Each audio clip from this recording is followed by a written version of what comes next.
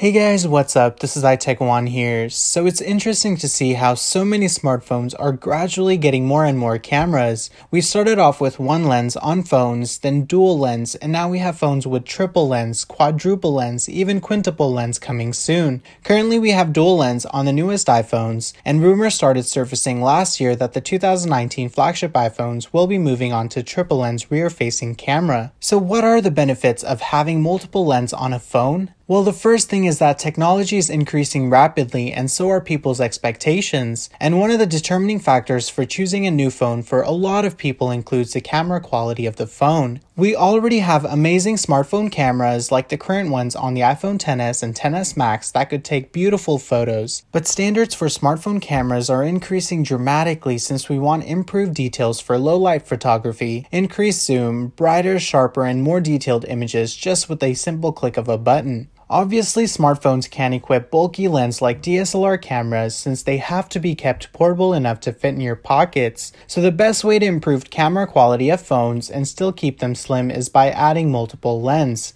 Each of the lens on a certain phone could perform different functions and then they work together to create the final image that we see. Like for example, the current dual lens on the new iPhones have one wide angle and one telephoto lens. The wide angle lens has a larger aperture which captures more light and details of the scene, while the telephoto lens has a smaller aperture to create long focus and magnify distant objects. So both of these lenses working together create detailed photos of objects that are far away from you. If you have one of the newest iPhones with dual lens cameras, you may have noticed how the fully zoomed in pictures or videos you capture get pixelated and blurry. This issue could be improved by adding an additional camera lens, like the monochrome sensor lens within the Huawei P20 Pro, that works to create sharper and more detailed images. But the triple lens camera on the next iPhones won't just create better photos, it could take things to the next level and add additional augmented reality features. Taiwan's Economic Daily News suggested that the 2019 iPhone's triple lens camera could potentially offer time of flight depth sensing system that would use laser lights to determine the distance between objects and sense the depth. This would be different from the current true depth camera system that's found on the front facing camera of the newer iPhones, since they use dot projection instead of lasers for Face ID. According to Mac Rumors, this new technology would theoretically increase the ability for virtual objects to interact with environments and enhance the illusion of solidity.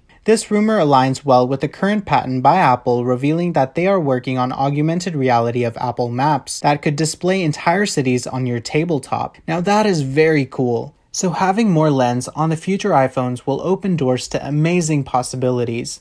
Let me know in the comments below if you're looking forward to the 2019 iPhones. This is it for this video guys. If you're new to my channel, make sure to subscribe to stay updated with the latest leaks and rumors around Apple products. So until next time guys, take care.